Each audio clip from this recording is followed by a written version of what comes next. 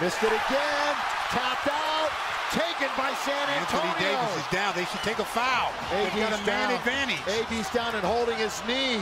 AD is holding his knee. Underneath, they score. We're tied at 114, and AD is down.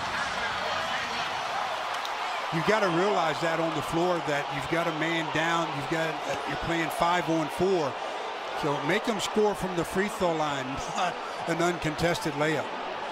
We've got a tie game with 32 seconds to play in regulation.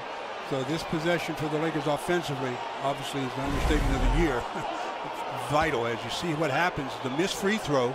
Watch AD. He goes up to get it. And he, he was hurting before he even came down. So that doesn't bode well. That doesn't bode well. If you watch how he's yeah, when doing, he leaped up. Yeah, when he jumped, it uh, he grabs his knee.